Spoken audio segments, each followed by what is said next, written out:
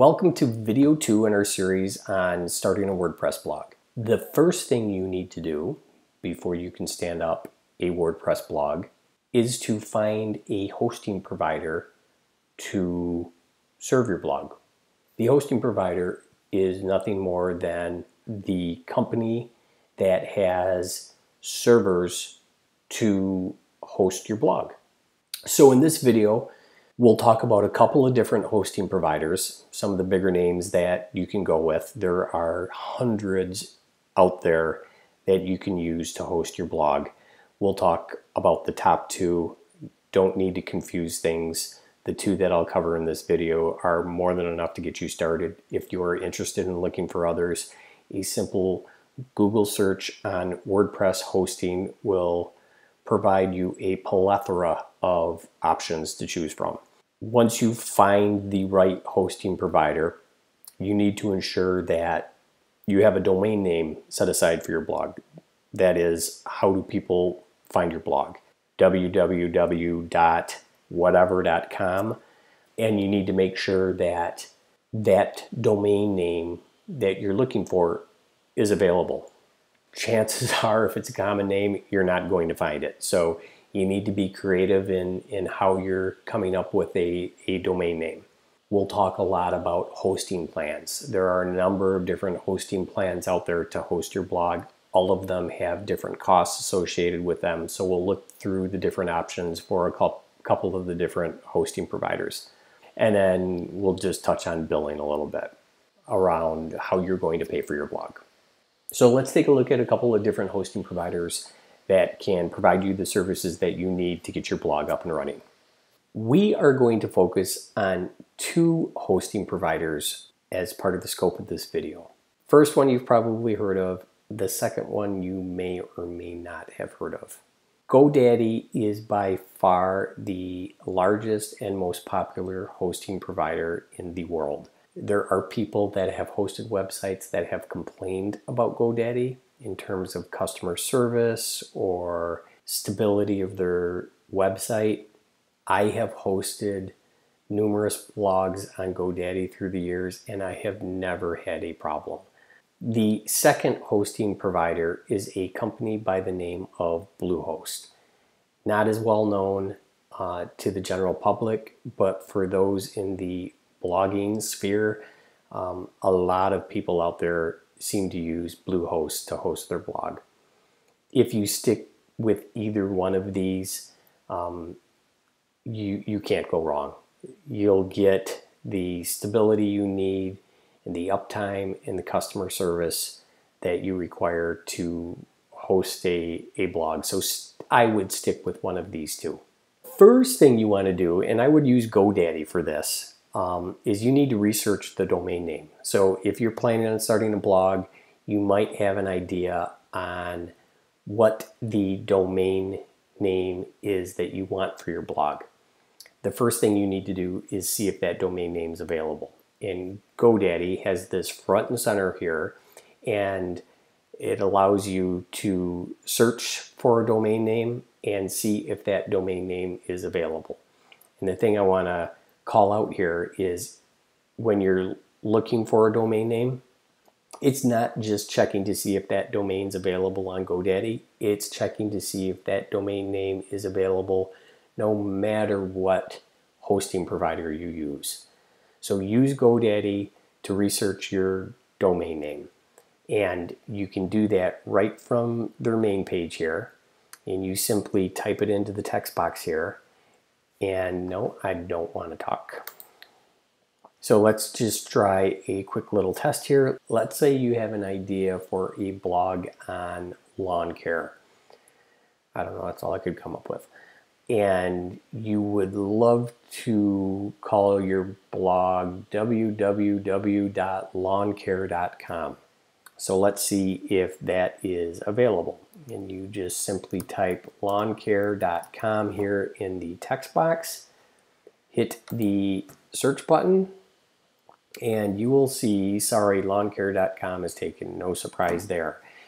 And over here on the right, it will give you some ideas for other domain names that are available. Along lawncare.club, lawncare.care, lawncares.us for a dollar a year, $9.99 a year, etc.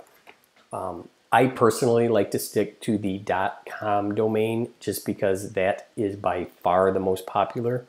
I would not purchase this by adding it to the cart here because both hosting providers that we'll talk about here will throw in a domain name when you purchase a hosting plan.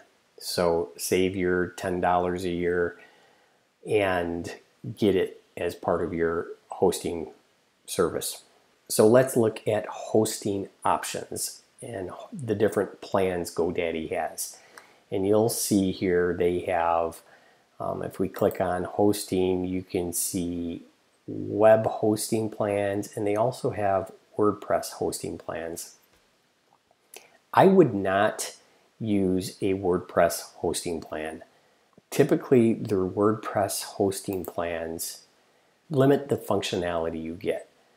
So in GoDaddy's case here, they have four different plans to choose from, starting at $3.99 a month all the way up to $13.99 a month.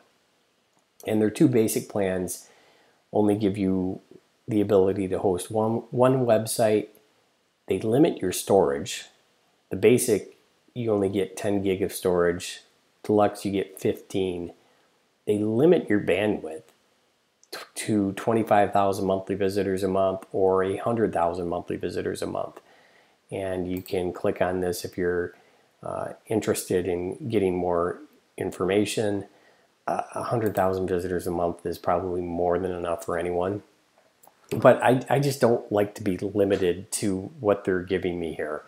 And the only thing a WordPress hosting package will really give you over uh, their standard hosting package is typically it comes pre-installed with WordPress. And installing WordPress is a piece of cake. It's not overly complicated, and I'm going to walk through I'm going to walk you through that in, in some later videos here. So to show you what I'm referring to, if I take a look at GoDaddy's standard web hosting, and you want to stick with their Linux plans, you'll see the pricing is pretty much the same. They've got three plans to choose from. Lowest starts at 350 a month. Their mid tier is $5 a month. But for $5 a month, I can host unlimited websites, meaning if I want to create another blog in six months, I don't need to buy another hosting plan. I can do it as part of this plan here. I get unlimited storage, unlimited bandwidth. Uh, so I get all this unlimited, these unlimited pieces for $5 a month. Why would I uh, constrain myself with a WordPress hosting plan when I can get this through a standard hosting plan on, on uh, GoDaddy? And the key thing to call out here is free domain name with annual plan and you get that on both of these. So when you register for this plan and go through go through the registration process, you will enter the domain name that uh, you want to use for your plan, and they'll throw it in for free. The other hosting provider that I wanted to talk about is Bluehost, and you'll notice their hosting plans are, are quite similar. Just for kicks, let's look at you'll see that they also have a standard shared hosting plan as well as a WordPress hosting plan. And I should talk about shared hosting for a minute. Any of these plans that you go with, whether it's GoDaddy or, or Bluehost, are shared hosting services, meaning they have hundreds of web servers in their server farms.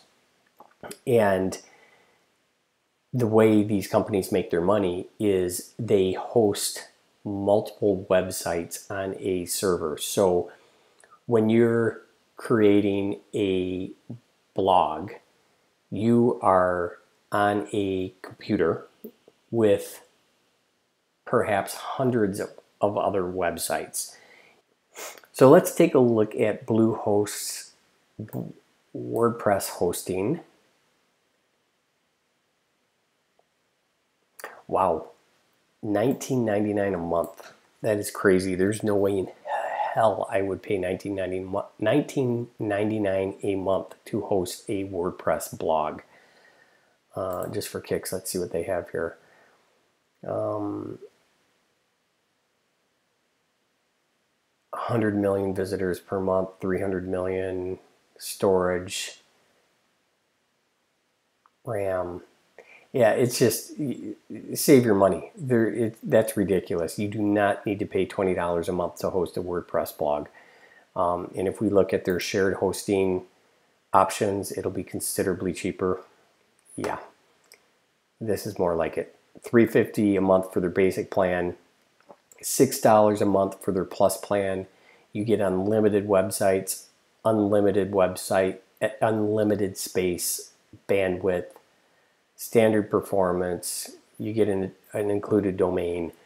Um, so $5.95 a month for this compared to GoDaddy's deluxe plan, $4.99 a month. So you save a dollar with pretty much the same options. Um, so it's really up to you which one you want to go with. But the moral of the story here is you don't need to pay that additional cost with limited functionality for a WordPress hosting package. Go with a standard shared hosting package. As far as billing goes, you'll see it is in Bluehost case $5.95 a month versus $4.99 a month on GoDaddy's deluxe plan. You pay that up front so in the case of uh, GoDaddy's deluxe plan here, $5 a month times 12 months, you're talking $60 for a year of hosting to host your, your WordPress blog. So again, you pay that cost up front and uh, you don't need to worry about uh, monthly renewals or monthly billing cycles. Uh, keep in mind when you register for this, chances are that they have an automatic renewal at the end of the year, at the end of your 12 months, unless you decline that. So that's really it on the, the hosting plans and domain names. In our next video, we're going to cover how to install WordPress with a shared hosting plan that I've already that I already have set up on GoDaddy and you'll see how easy it is to do that. Be sure to click that subscribe button and be on the lookout for future videos that I'll be posting.